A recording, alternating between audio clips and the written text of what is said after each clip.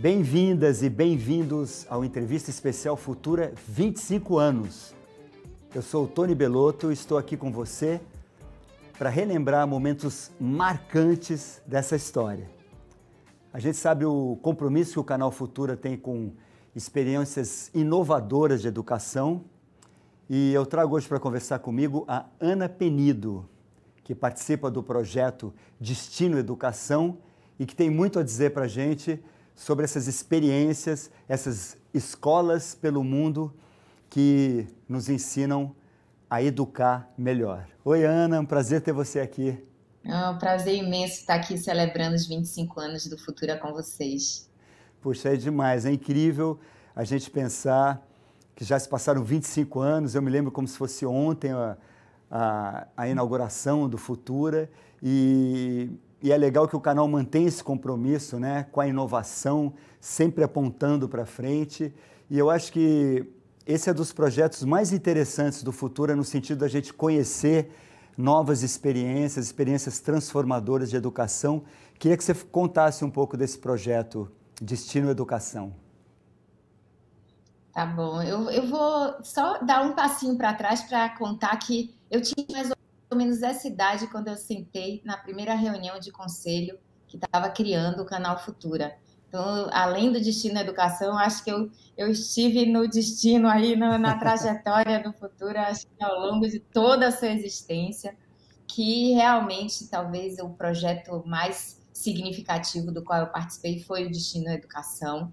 É, foi maravilhoso a gente poder pesquisar o que havia de mais inovador na, na educação de países os mais diversos. A gente tinha experiências desde é, é, em escola rural em Machu Picchu até escolas super inovadoras que lidam com tecnologia nos Estados Unidos e escolas na Finlândia, escolas na Argentina, é, escolas no Brasil que também estavam inovando em vários aspectos: currículo, formação de professor, metodologias, uso de tecnologia, participação e protagonismo dos estudantes. Olha, foi um festival aí, é, realmente, se a gente pudesse fazer uma viagem daquelas inesquecíveis, é, não teria sido diferente dessa viagem que a gente fez com Destino à Educação.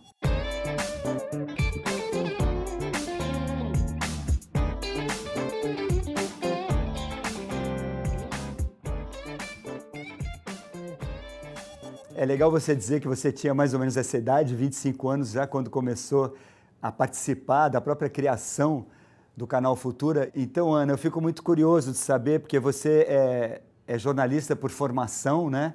E, e como é que você chegou nesse interesse por educação inovadora? Como é que do jornalismo você chegou na educação? Eu sempre digo que eu sou jornalista por formação, educadora por vocação e idealista por compulsão. Acho que já nasci com essa vontade de mudar o mundo. E eu escolhi fazer comunicação, estudar, né, me graduar em comunicação, porque eu queria dar visibilidade aos invisíveis, às causas, às pessoas é, que, que ficam à margem da nossa sociedade mas logo eu comecei a me envolver com oficinas de mídia para jovens. Hum. É, essa questão de educar, empoderar, é, tornar é, a garotada protagonista da sua vida, de mudanças na sua comunidade, através do uso de, de mídias, de tecnologia. É, e, e eu trabalhava justamente com isso, já numa fundação lá de Salvador, que é, é um, foi uma das primeiras parceiras do, do Canal Futura que acreditou, porque a gente acreditava nesse poder da comunicação para educar e para transformar. É, então, a minha vida toda foi, foi isso. Foi oficinas de mídia, foi projetos em que a gente levava tecnologia e comunicação para mudar as escolas, a educação formal também. É, e aí, é, eu, eu sempre quis trabalhar com a educação, mas eu achava que essa educação que a gente tinha ela era muito convencional, ela já não se, não, já não servia para mim na minha época de, de estudante, imagine uhum. para quem já nasce no século XXI. Né? Então, eu sempre quis ser uma hacker da educação, sempre quis é, buscar é, outras possibilidades mais disruptivas até chegar nessa. Né, acho que o Destino à Educação foi um pouco uma culminância assim, de todas as pesquisas que eu já vinha fazendo sobre como a gente podia transformar a educação para que ela tivesse mais relevância tanto para os estudantes, mais sentido, significado para eles, como também para a sociedade, né? uma, uma educação que realmente forma pessoas capazes de navegar na, na contemporaneidade, de propor é, soluções para os desafios da atualidade. Então, é, o destino da educação foi assim uma super oportunidade, acho que de sintetizar muitas das coisas que eu já vinha buscando até ali. Eu fico muito curioso né, na experiência para fazer esse projeto. É, que, que, que, escolas peculiares, que, que coisas especiais que você descobriu nessa pesquisa do que, do que se faz por aí? Uma das coisas muito importantes é o currículo, sabe, Tônia? Assim, o que, que a gente vai ensinar? O que, que a gente quer que, esses, é, que essas novas gerações aprendam, apreendam? Que seres humanos né, a gente quer que, que eles se transformem? E metodologias incríveis, assim, como a gente precisa é, desconstruir essa ideia de só ter uma forma de ensinar e uma uhum. forma de aprender que foi inventada é, nos primórdios da educação como, ela, como a gente conhece hoje. Né? É, é possível, é, sim, usar arte, usar é, a comunidade, projetos, metodologias muito mais ativas e interativas, tecnologias sofisticadas, mas também para de fato a gente desenvolver competências que hoje são super demandadas pelo mundo, uhum. né? Tem uma outra coisa interessante que é o próprio ambiente da escola. Uhum. Para que seja uma escola que tem um currículo mais arrojado e metodologias mais interativas, você precisa de um ambiente da escola que seja mais acolhedor, mais criativo, mais é, provocador. Então não dá mesmo para ser carteira enfileirada, salinhas compartimentalizadas, né? É, a gente precisa revolucionar um pouco essa concepção até da, da arquitetura da escola. Uhum. Então, é interessante que você me falando isso, o que eu me pergunto é, primeiro, como é que, que fica a escola brasileira dentro desse contexto internacional? E de que maneira toda essa experiência que você e as pessoas que como você adquirem nessa pesquisa, como é que a gente pode aplicar isso praticamente ao ensino brasileiro? Isso é uma coisa relativamente fácil de, de, de, de mudar, de, de, de fazer? Olha, nenhuma mudança é fácil, principalmente quando ela envolve mudança cultural, de mentalidade, né? Porque imagina, a gente trabalhou a vida inteira com uma concepção de escola. E agora a gente diz, gente, vamos questionar isso, vamos propor alguma coisa para colocar no lugar? É óbvio que todo mundo fica um pouco desconcertado, né? Você foi para uma escola daquele jeito, você foi formado para ser professor numa uhum. escola daquele jeito, como é que agora se reinventa? Então, isso sempre vai passar por um desafio pessoal e, obviamente, das condições que se oferecem ali nas redes, principalmente as redes públicas de educação, para que isso possa virar realidade, né?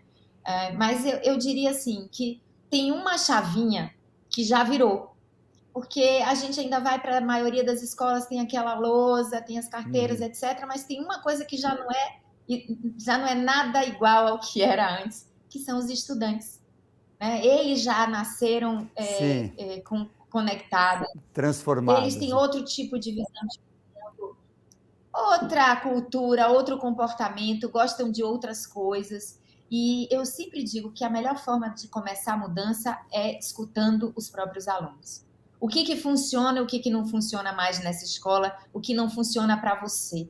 Então, é, a gente precisa começar a partir deles.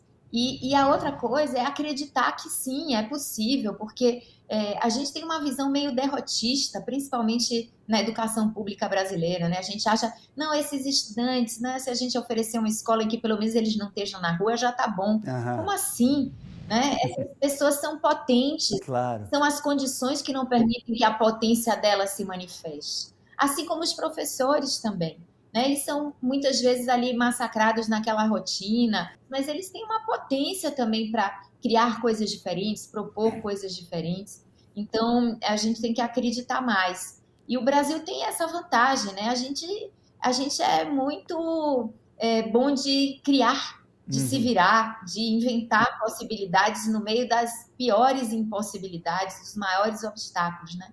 Se a gente consegue se virar na vida, é, a gente consegue também é, pensar em novas possibilidades para a educação.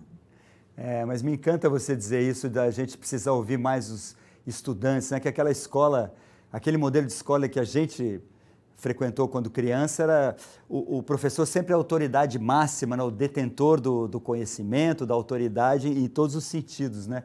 E isso é um paradigma interessante. Quando você diz que o, a, a chave principal já foi mudada, que é a própria percepção da importância do aluno, né? você já está botando todo o sistema é, em transformação, né? Muito legal isso. E eu gostaria de saber como é que as políticas públicas se conectam com isso. Assim, existe um, um esforço, um, um, consenso de que é preciso modernizar a escola brasileira, entrar nesse, nessa nova, né, nessa nova concepção, como você fala? Olha, consenso no Brasil, aliás, no mundo hoje em dia está difícil, né? Mas existe sim um grupo muito forte, principalmente quem está trabalhando com a educação há mais tempo, é, que vem desde, inclusive, a partir do destino educação, foi uma virada ali de uma percepção de que a gente precisava realmente repensar a escola. É, o programa veio nessa levada e, e, a partir daí a gente teve reforma da, da, dos parâmetros curriculares, né, uma nova base nacional comum curricular no Brasil que já pressupõe algumas dessas mudanças, como uma educação mais voltada ao desenvolvimento integral, é, com a busca de desenvolver competências mais contemporâneas. A gente teve a reforma do ensino médio, que a despeito de várias polêmicas e do, do, desafio enorme que vai ser implementar, mas já traz no seu bojo muitas das coisas que a gente viu nos programas que a gente produziu para o Destino Educação. É, então, é, eu vejo já as políticas públicas de alguma forma respondendo a todas essas demandas e essas possibilidades.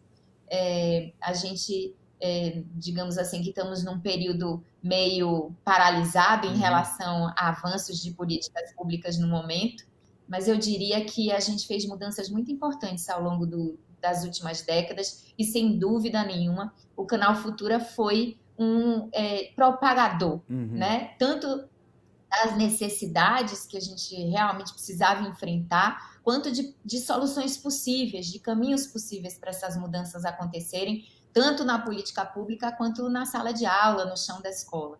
Né? Então, eu é, quero dizer que eu tenho muito orgulho de ter feito parte dessa história. Né? É, de, é de se orgulhar mesmo, e, e, e, esse teu entusiasmo, a tua determinação são. É, enche a gente de esperança. Assim. Eu, eu te faria uma pergunta agora. Você disse que 25 anos atrás você estava aqui junto ajudando a criar esse grande projeto do canal Futura. É, me diz agora, como é que você se imagina daqui a 25 anos? Como é que você vai estar falando da educação, da educação brasileira? Qual é a tua previsão? Então, daqui a 25 anos, eu é, gostaria muito que o Brasil fosse uma referência né, de avanço, é, tanto em termos de é, mudanças consistentes para a gente ter uma educação de qualidade que é, muito contemporânea, muito conectada com o seu tempo, mas principalmente que a gente foi capaz de gerar uma escola que promove equidade. É uma escola que, de fato, ela vai ser aquele ponto de inflexão entre o Brasil desigual que a gente tem hoje e o Brasil mais justo e inclusivo que a gente quer do futuro. Pô, que legal, Ana. É, eu termino aqui a nossa entrevista te agradecendo, te parabenizando e espero que essas suas palavras se realizem. Eu, eu, eu, acredito nisso também e fico muito feliz que pessoas como você estejam ajudando a gente a construir esse futuro. Olha, eu que tenho que parabenizar o Canal Futura por todo esse belo trabalho, essa trajetória e esperar que é, o canal continue ao longo dos próximos 25 anos oportunizando espaços como esse aqui, para a gente sonhar e fazer juntos uma educação melhor para cada brasileiro e cada brasileira. Muito obrigado, foi um prazer falar com você. O programa fica disponível no Globoplay. Valeu, até a próxima.